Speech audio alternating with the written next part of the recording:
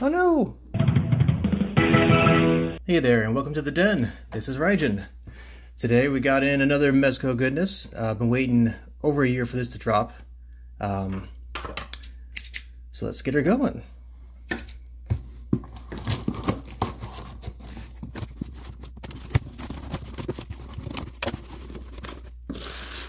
Ah, yeah. Nice black wrapping paper. Not wrapping paper, but bubbles. We know. Oof. Mez-Itz. There's a few things in here. We got the Mez-Itz. Got a little Stinkle pin. Got Rumble Society sticker. Stinkle sticker. Doc Nocturnal sticker. And that's it for that. Alright, let's see what color this little sucker is this time. He's completely different this time. He's not a grub. He's got a skull. He's got a little, little Jason mask. and a chainsaw. Let's get him all geared up. There we go. Now he's ready to go terrorize. And of course we have the main feature, Constantine. Now, I'll be honest, my first exposure to Constantine was the movie with Keanu Reeves. In all that DC comic reading I've done, I never really came across him. I think that's because he was pretty much in Vertigo, and they didn't combine that until um, after I started reading and after that movie and everything, I think. My remembrance of the timeline isn't perfect, so forgive me if, if I'm wrong on that. That's a gorgeous box art.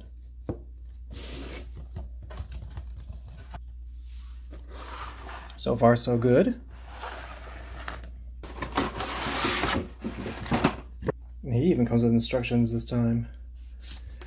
Good to see. Okay, so the first tray. Ha ha ha ha ha. Alright, I wonder if I can tuck that in. I guess I really wouldn't want to. It's not really in the character, is it? I have to cut some strings off here and there. But that's just how it goes. Nope, that stays there. That's good. That's a really good face. Yeah. Uh, his next game, little. I still need to get him on his Mezco body. But that's that's pretty good. That's a nice height. That's a nice basic body in general. I wonder if it's the same one they use on like the Warriors and uh, who else was it? Uh, like Harvey Dent and the others. They all use about the same basic body because I was looking on eBay for bodies for Rydgen and saw those available. But yeah, that's nice. Okay, so it comes with three other heads. We got the nice beat up and bloodied head.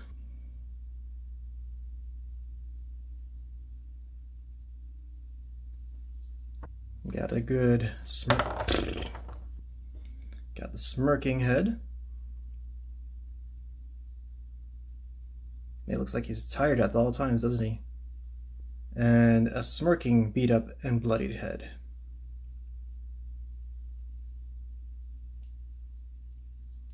So we got hands with cards in them.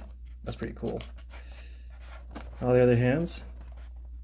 Open, gripping, another gripping, uh, item holding, relaxed, slightly pointing, and another splayed, not splayed, but relaxed. So all sorts of things there. Lighter, unopened and unlit. Lighter, open and lit. Ceremonial dagger. Shotgun rune covered sword, good size cross, three lit cigarettes, and the base for the stand. The second tray, we got all the really good stuff. Holy. Just a variety of cigarettes in different states. Three smoke trails, which I'm not sure what that goes on or what it could be used for. But I'll find out, I suppose. Two fire effects, a pentagram effect, another magical symbol effect, small orange effect, small blue effect. I guess he plays Portal too, huh? Medium blue effect, and medium orange effect. And of course, really nice chainsaw. Can't fight evil without that. That's a staple. We've also got the stand that goes on the base and his signature trench coat.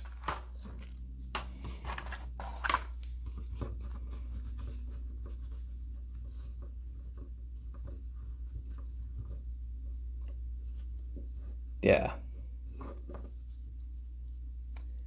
Oh, he's got the double joint on the neck. That's the good stuff right there. Every figure should have a ball joint on the base of the neck. Yeah, especially if you just have a dumbbell. But this has pretty good range. So, yeah, that's a, that's a really good body. All right, let's try some of these things out. Oh, okay, see, as those little smoke trails are for, that's for him blowing smoke out. It's about like Agent Gomez's pants. A little tight, but still enough room for movement.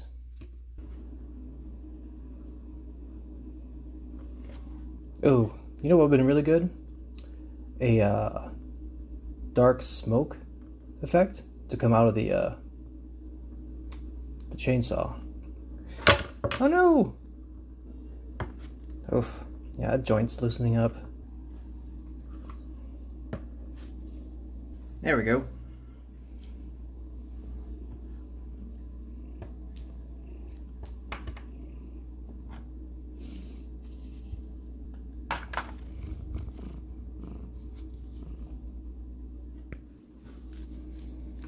It looks like I have the correct hands. I think. Oh no, I guess not. Yeah. And I just happen to have a stand right here. He really has very minimal range on his feet, though. That's kind of disappointing. There he is. Floating and doing magics. Oh yeah, I like that better. I wish I had started with that angle in the first place. Might as well match the angle that you're looking at it. That way you know how it's going to look in the camera. And you get the a lot more here. Okay, well, lesson learned. But yeah. Yeah. That's nice. So I wish these worked better. Um, but still nice effects. And I see why they did it the way they did it. Uh, let's see how well this fits. One of the downsides of soft goods at this scale is that they can bunch up and prevent posing pretty easily. Um, if this is just like the previous ones though, like the one in the uh, cloth kit that I got last year, shouldn't be too bad, but we'll find out.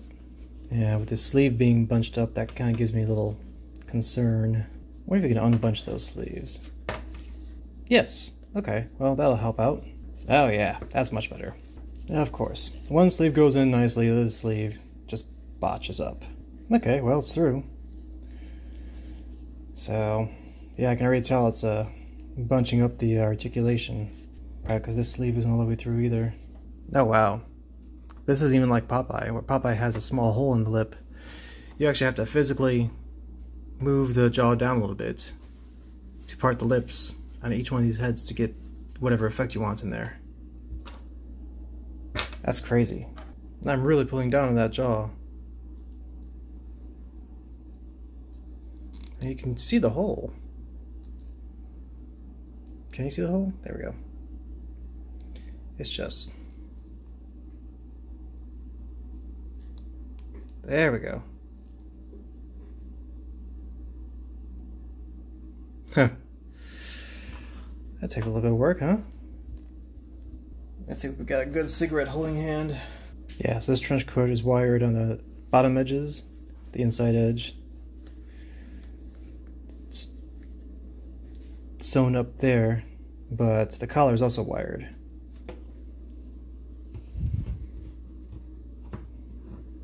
There we go. That's really not a very good cigarette holding hand. I kind of want to say that you should be able to, judging by how they engineered the mouth, you should be able to pull apart the fingers a little bit too. But I don't see anywhere to do so safely. I mean, I guess that works. Hmm. Alright. Because I ain't trying to break my nice new toy. Overall, quite, quite a nice figure. Yep. Can definitely see myself doing good stuff with this. Well, I guess that's it for for this session of the den. So, I'll catch you around.